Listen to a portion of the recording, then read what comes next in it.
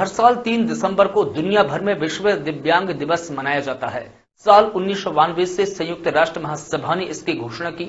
शनिवार को देश भर के साथ कटनी ज़िले में भी विश्व दिव्यांग दिवस बड़े ही धूमधाम के साथ मनाया गया।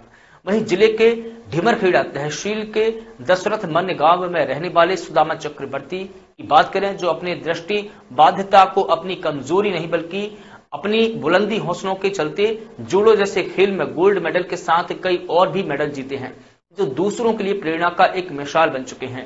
उन्हें एक दिन के लिए कटनी ज़िले का सांकेतिक कलेक्टर भी बनाया गया है। सुदामा जब पहली बार स्कूल में गई तो उसे स्कूल में सिर्फ़ इसलिए प्रवेश नहीं दिया गया था कि वो देख नहीं सकती थी, वो पढ़ाई कैसे करेगी। लेकिन उसकी दृढ़ इच्छा, शक्ति को देखते हुए जबलपुर की एक संस्था ने उसे पढ़ाने का बीड़ा उठाया। धीरे धीरे सुदामा ने जूडो खेल में अभ्यास करती हुई इतनी सशक्त खिलाड़ी बनकर उभरी।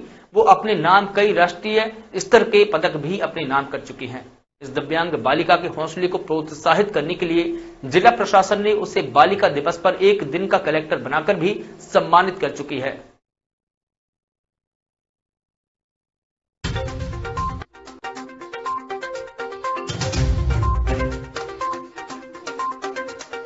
के नेतृत्व में जिला शिक्षा केंद्र कटनी द्वारा आज तीन दिसंबर को विश्व विकलांग दिवस मनाया जा रहा है। इसमें विभिन्न विकास खंड के हमारे कक्षा एक से बारह तक के बच्चे पार्टिसिपेट कर रहे हैं, जिसमें आज यहाँ पर बारह प्रकार की विधाओं का आयोजन किया गया, जिसमें मुख्य रूप से रही हैं क्रिकेट कुर्सी दौड़, रंगोली, सांस्कृतिक कार्यक्रमों में डांस और भी अन्य कार्यक्रम हमारे यहाँ पर हो रहे हैं।